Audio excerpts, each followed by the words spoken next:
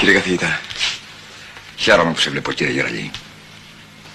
πέρασαν 11 χρόνια. 11 χρόνια. Ήσουν από τους λίγους ανθρώπους που εκτιμούσα. Πού τον έχετε; Στο χειρουργείο.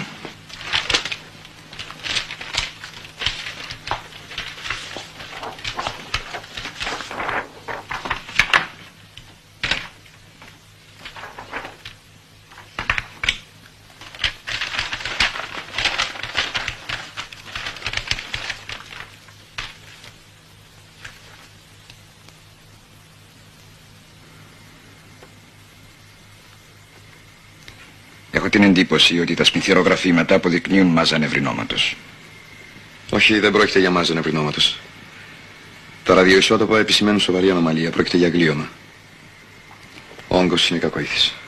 Μήπως σου διαφεύγει ότι το νευρίνωμα και το γλίωμα εξωτερικά παρουσιάζουν τα ίδια συμπτώματα; Σε διαγνώσεις τέτοιου είδους σπάνια πέφτω έξω, κύριε καθηγητά. Σε τι κατάσταση βρίσκεται; Τα πιεστικά φαινόμενα είναι έντονα. Ήδη υπέστηκε δεύτερη επιληπτική κρίση. Πρέπει να χειρουργηθεί αμέσως. Ειδοποιήθηκαν ο κύριος Γεωργίου και Δεσμήνης Μητροκάλη. Όχι. Γιατί; Εγώ το ζήτησα κύριε Γεραλή. Παρακάλεσα να αναλάβω εγώ την αναισθησία. Βοηθός σου θα εργαστεί η δεσποινή σταθά του. Έχετε αντίρρηση κύριε Γεραλή;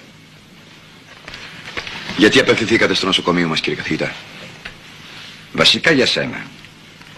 Ξέρω πως η δεξιοτεχνία έχει σε τέτοιου είδους εγχειρήσεις. Τότε θα ξέρετε ότι το νοσοκομείο μας δεν διαθέτει τον απαραίτητο εξοπλισμό για τη μεταχειρητική αγωγή. Και αν δεν υπάρξει υποτροπή θα χρειαστούμε μακρά θεραπεία ακτινοβολιών. Σου ζήτησα μόνο να χειρουργήσεις αυτόν τον άνθρωπο. Όχι.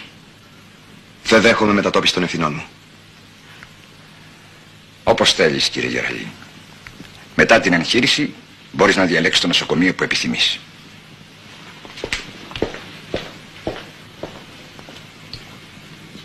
Έπρεπε να με ειδοποιήσετε. Με αναγκάσατε να δεχθώ μια κατάσταση που δεν επιθυμούσα. Με συγχωρείτε κύριε Γεραλή, αλλά διοικητικώς εξαρτώμεθα από αυτόν. Και η εγχείρηση. Από αυτόν εξαρτάται, κύριε Ευθύντα.